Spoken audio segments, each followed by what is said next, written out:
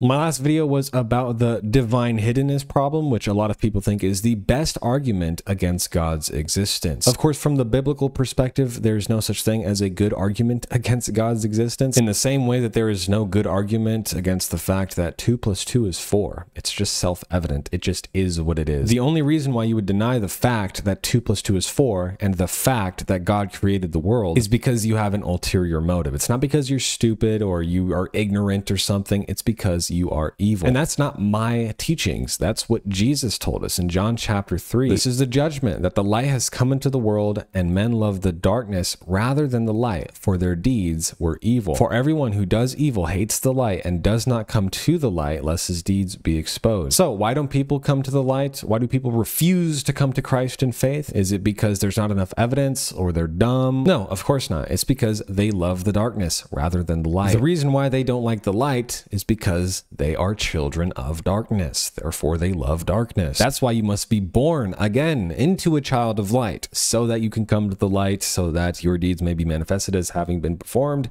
in God. Once again, John chapter 7 the world cannot hate you. He's talking to his unbelieving brothers at the time, but it hates me because I bear witness about it that its deeds are evil. The reason why people reject Jesus is not because there's not enough evidence of his resurrection or anything. It's because they don't want to. It's a heart problem. The moment you make it an evidence problem, you're calling God a liar. Because the Bible specifically states that the wrath of God is revealed from heaven against all ungodliness and unrighteousness of men who suppress the truth in unrighteousness. Because that which is known about God is evident within them, for God made it evident to them. So when an atheist says, I haven't seen any evidence for God's existence, we as Christians cannot believe the atheists when they're saying stuff like that. Because since the creation of the world, his invisible attributes, both his eternal power and divine nature, have clearly been seen, being understood through what has been made, so that they are without excuse. So, to put it simply, uh, people refuse to believe in Jesus because they are evil. Let me say that again, because people completely misunderstood it when I said that in the previous video. Someone commented, Oh, so just because I don't believe in God, it makes me evil? No, that's not what I said. It's because you're evil that's why you don't believe in God. What you need is to be born again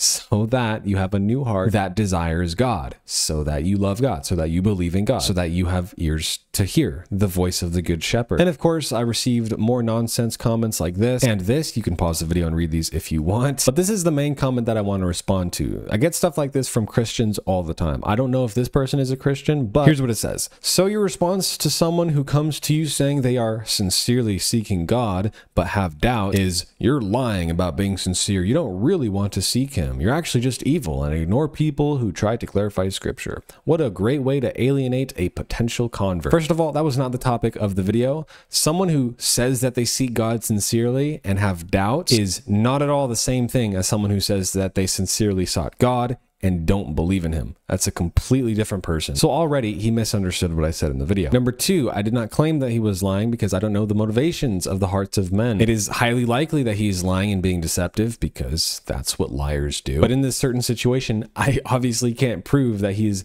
purposely misleading you. What I do know is simply what Romans chapter 1 says. That which is known about God is evident within him. Every atheist, for God made it evident to him. This is true for every unbeliever as well. Same with Muslims too, because this is talking about the God, not a fake God that they came up with on their own. For even though they knew God, they did not glorify him as God or give thanks, but they became futile in their thoughts and their foolish heart was darkened. For even though the atheist knows God, knows of his existence, and he has clearly seen his invisible attributes being understood through what has been made. The atheist, every single one of them, they suppress that truth in unrighteousness. What I was doing in that video is just pointing that out. You're actually just evil and ignore people who try to clarify scripture. Once again, that's not what I said. You're just evil. That's not a good way to put it. It's actually, you are so evil, you're so depraved, you are in the darkness, you need Jesus Christ. You need to be saved. The fact that atheists are evil is the core reason why they don't believe in God. It's not, oh, they're just evil. They're just, obviously, they're not going to believe in God. No, it's way bigger than that. That's the sin problem. Their hearts, their minds are darkened, and they love sin so much that they suppress the truth in unrighteousness. Romans chapter 8 says this For those who are according to the flesh set their minds on the things of the flesh, but those who are according to the Spirit, right? If you've been born of the Spirit, the things of the Spirit. For the mind set on the flesh is death, but the mind set on the Spirit is life and peace, because the mind set on the flesh is hostile toward God. Atheists are not in the Spirit, they are in the flesh. Their minds are not set on the things of the Spirit. They're hostile toward God. For it, what is it referring to? It's referring to the mind. For the mind of the unbelieving person, the one in the flesh, does not subject itself to the law of God, for it is not even able to do so. And those who are in the flesh are not able to please God. So this last part about what a great way to alienate a potential convert is just absolute nonsense. Look at what happened in Acts chapter 2. This is Peter speaking. Men of Israel, listen to these words. Jesus the Nazarene, a man attested to you by God with miracles and wonders and signs which God did through him in your midst, just as you yourselves know. This man, delivered over by the predetermined plan and foreknowledge of God, you nailed to a cross by the hands of lawless men and put him to death. It's not wrong to speak the full gospel truth to non believers. In fact, you have to. Imagine if Peter came out and said, You know what, you guys, we tried to give you the most evidence that we could. We tried to convince you of God's existence and the fact that Jesus is the Son of God, but, you know, you just couldn't understand somehow for some reason. I wonder how. And you just ended up making a mistake. You know, eh, you know, he calls them lawless men because that's what they are evil people, sinful people. Therefore, let all of the house of Israel know for certain that God has made him both Lord and Christ. This is Jesus, whom you crucified. I read this to point out the fact that it is so biblical, in fact, extremely biblical, to point out the unbeliever's sin, not as a hypocrite, not to just put them down or anything, but the fact is, if you don't point out their sin, then how in the world are they going to know that they need to be forgiven? They won't. So that's why I love to emphasize the fact that unbelievers hate God. They sin against him every single day willfully. And unbelief is a sin. It's not just a place of neutrality like people are trying to find God and trying to find out that he exists. No, there's no such thing as someone who is from a good heart seeking God and not finding him. Now, when they heard this, they were pierced to the heart and said to Peter, What should we do? And of course, you guys know the story. Repent, be baptized in the name of Jesus, and 3,000 souls got saved. Awesome. So, of course, that happens when God decides to convict the crowd hearing those truths of their sin and saves 3,000 people. That's awesome. But God is not obligated to do that every time you speak these harsh truths to people. John chapter 6, very famous passage. Jesus feeds 5,000, then he walks on the sea, and then he goes into this long dialogue about how he is the bread of life who has come down from heaven. And he says, All that the Father gives to me will come to me, and the one who comes to me I will never cast out. For I have come down from heaven not to do my own will, but the will of him who sent me. Now, this is the will of him who sent me, that all he has given me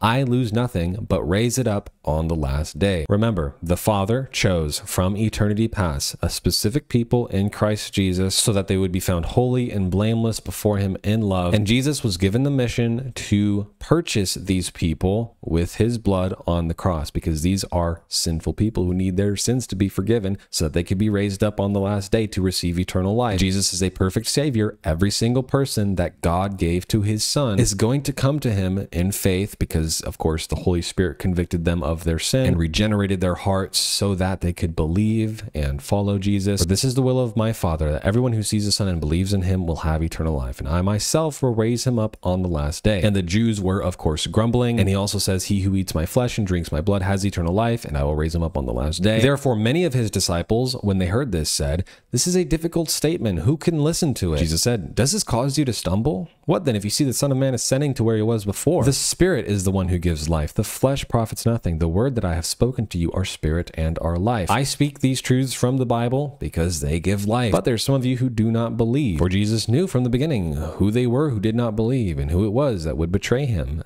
That's why he was saying, For this reason I have said to you, no one can come to me unless it has been granted to him from the Father. As a result of this, many of his disciples went away and were not walking with him anymore. Imagine, just imagine Jesus listening to this comment and then saying, Oh, you're right. I, I shouldn't call these people evil. I, I shouldn't tell them their need for a savior because I got to try my best to convert these people. Because there's this idea of a potential convert. There, there's no such thing as a potential convert, just so you guys know. Second Timothy chapter 2 says, says this For this reason, I endure all things for the sake of the potential converts out there, so that they may also obtain salvation. Nope. We as Christians, we endure all things for the sake of the elect, God's chosen people, his sheep, his lost sheep that are out there that need to be found we endure all things for their sakes, so that they also may obtain the salvation which is in Christ Jesus. We have salvation, and our goal is not to save the potential converts out there. This is why when people get so angry at our teaching, we're not really supposed to get all angry about it. Obviously, it's a sad thing to watch people's darkened hearts refusing to uh, obey the gospel, but at the same time, we don't need to worry about trying to convert people. It's God who converts people, specifically His people that He chose to save. Now, he who believes in me as the scripture said, from his innermost being will flow rivers of living water. I'm a Christian. You're a Christian watching this video. This he spoke of the Spirit, whom those who believed in him were going to receive, for the Spirit was not yet given because Jesus was not yet glorified. The fact is, the Holy Spirit dwells in you, and rivers of living water are flowing out of your heart. The result of the truths that you speak to anybody is the salvation of other people. That is the means by which God has decided to save his elect and also the entire world. We as Christians do not need to worry about alienating a potential convert. We don't need to walk on eggshells when we're talking to evil non believers who hate God. We just need to tell them the truth uh, with gentleness and kindness. I know it's hard to look someone in the face and call them out on their sin, not to ignore the obvious fact that we are also sinners and don't deserve salvation to begin with. That'll it for today, though. Remember to like and subscribe so that this can be pushed out to more people, so that more people can learn about God's Word. Love you guys so much.